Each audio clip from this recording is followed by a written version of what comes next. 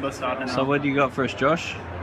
Okay, so today I'm going to be demonstrating the KH 7.0. So here we've got some acid water and some alkaline water. We had to unfortunately artificially mess with it, so it'll be a little bit less effective.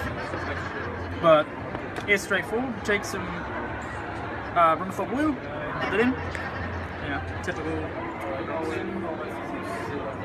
See that's acid. See it's alkaline. Goes on.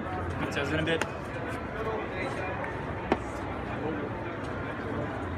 quite acid alkaline. Now, KH 7.0 is a bit unique. Unlike any other neutral buffers that they could supposedly have in the market, this will not only take you to 7.0 from acid, but it'll also take, bring you down as well.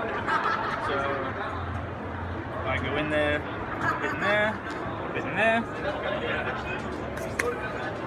Now we start putting on, you can see his reaction automatically in the alkaline. A bit of a decrease in color this out of the way, start spinning. The reaction isn't straight away, but as you can see, they're starting to change green already. The green action, it takes a little bit of while for it to dissolve, but as you can see, we're already starting to go green into the neutral bases.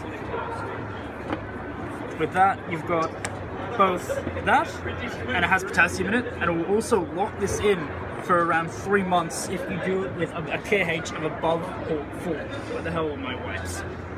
But, as you can see, clear demonstration of the 7.0 and how effective it is. Thank you. There we go.